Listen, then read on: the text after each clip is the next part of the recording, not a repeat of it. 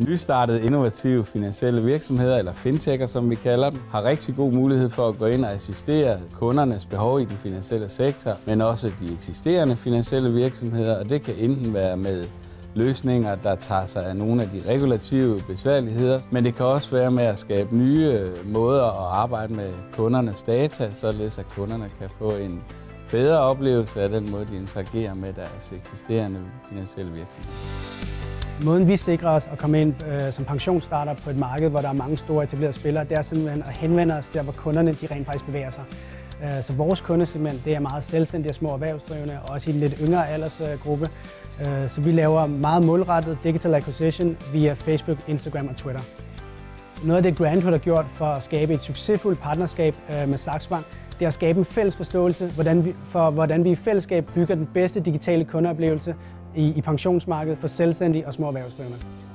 Måden, hvorpå Grandhood skaber succesfulde digitale løsninger til kunderne, det er faktisk ved at invitere dem ind, så vi laver det, der hedder co-creation.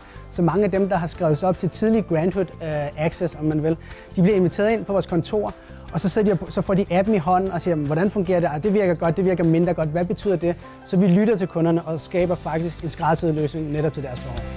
Hvis vi i PVC skal komme med tre rigtig gode råd til, hvordan du som nystartet innovativ finansiel virksomhed skal gå ind og lave en velfungerende samarbejde og blive attraktiv for de eksisterende finansielle virksomheder, så vil vi især pege på tre ting.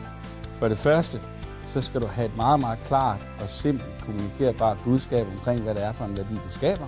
Det andet råd er at have meget, meget god forståelse for de regulatoriske risici og, og udfordringer, der kan være i det område, du er, således at du ikke udsætter kunden og den finansielle virksomhed, du interagerer med, for nogle øh, compliance-mæssige udfordringer.